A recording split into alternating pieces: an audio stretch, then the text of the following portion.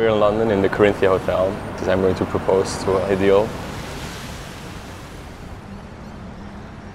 I saw her for the first time one and a half years ago. She walks in and just immediately, like, oh my God, who, who is that? She's made me feel things that I, I never thought I would have. And she's like this piece of me that's, that's been missing for so long. And it just clicked. So all of a sudden, I, I really had this, this urge, like, I need, I need to put this woman in my life. I really need to do it.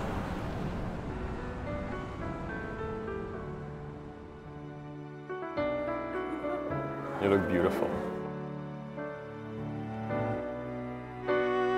Kijk, ziet je die lustig? Dat rode balletje, dat is hoe mooi dat jij bent. En al die andere ballen,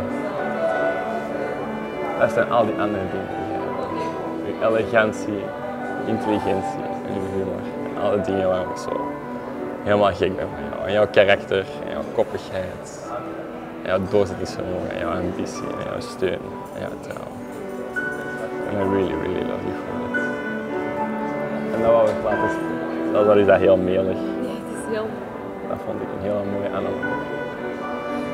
En de laatste vier maanden zijn echt zo, zo mooi geweest. And I really, really, really want to keep doing this. Deel. Een deel met Loen. Het gaan we uithouden.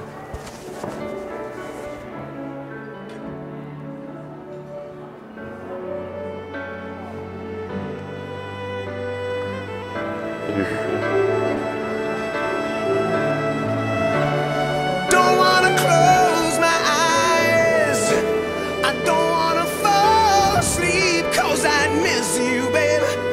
I don't wanna miss a thing.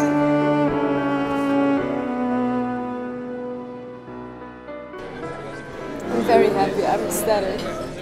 It was the most romantic thing, literally, every anyone has ever done.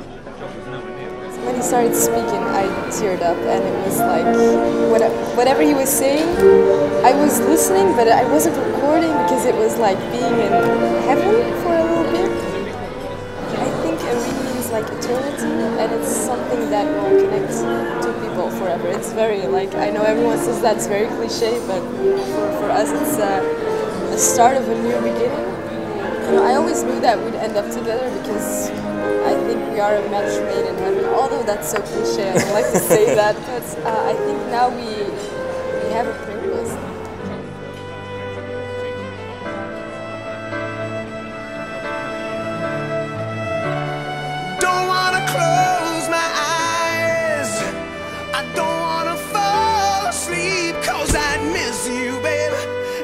Don't thing.